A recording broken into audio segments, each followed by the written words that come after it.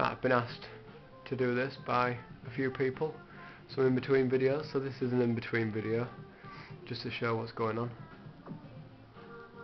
Um, right, keep an eye on world events. Keep yourself up to date with the latest news from world of football, such as transfer news and results at both national and international level, by reading the bullet bullet-ins at the top of the screen. Transfer has been fixed. Yes, there's a couple of packs that I bought. Uh, classic player, classic player packs, and these were all, you know, classic players. Uh, Den Dengua, Filko, Mirakanic, and Missile Missile Room. I think I'm sure that's uh, Nistelrooy. But we'll soon find out what's going to happen with them. After some time negotiating, the scout will come to you with the terms. If you're happy with them, it will be a done deal. On the other hand, if you feel that transfer fee or salary is too high, ask for the scout to renegotiate the deal. The better the scout, the more likely the negotiations will turn out in your favour. But always remember, it's down to you in the end. Right. Negotiations in progress.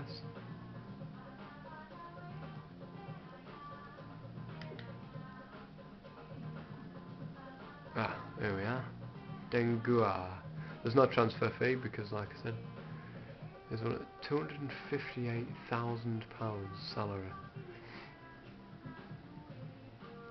And he wants it on a one year contract, so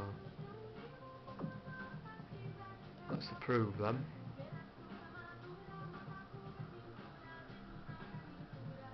Yeah, let's pay that. Negotiations were successful. Pay necessary expenses, obviously. Teams in contact, look at all them teams look in contact with them. It's just me, I needed a, a decent goalkeeper so he's spot on for me. Maybe 36 years old but I've got a nice youth team man in there as I'll show you in a second. Youth team, we've got a youth team bloke who's better than Ashman in my first team. In there, 74 years, 74 years old. Fucking hell, he's not really a youth team, is he? Jesus. 20 years old, 74 rated. 19 years old, 72 rated there. But anyway. Right, moving on from there, I shall show you now schedule. Next match is Chelsea, and then I've got a League Cup match, and it's Newcastle uh, the next three games. Uh, team info. Well, obviously that's me. Tournament info. Premier League, right. Standings.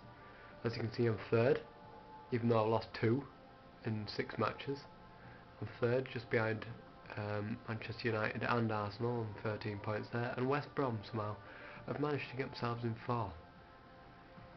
Um, Where's Chelsea? Eighth. So they're looking for a win. They haven't lost yet, which is not good news for me. There's Wigan last, Blackpool and Everton. Uh, goal rankings, Maori at the top there, look.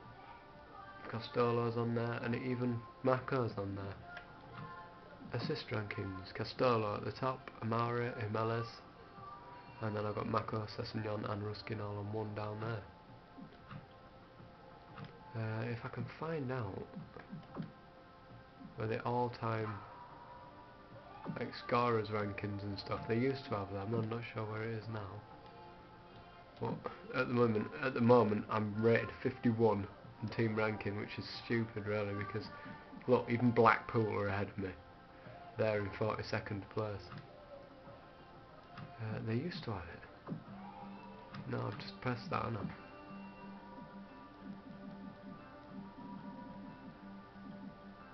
Hell is a PES Cup?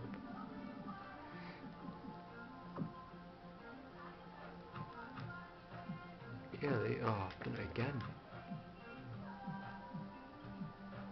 Anyway, that's that. Uh, so that's a little in-between video that I've got. Not special really, but I thought I'd show you it anyway. Uh, so to the next match from Chelsea.